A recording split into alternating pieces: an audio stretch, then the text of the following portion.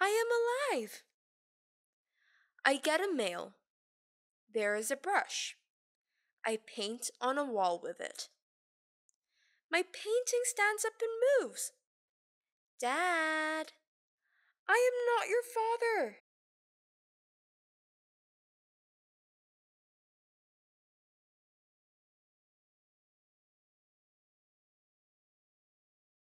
Question 1.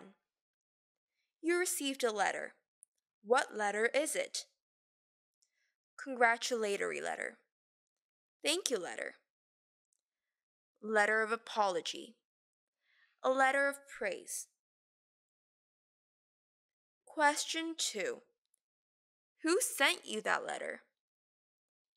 Dad? Mom? Friend? Stranger? Question 3. If a drawing could be real, what would you draw?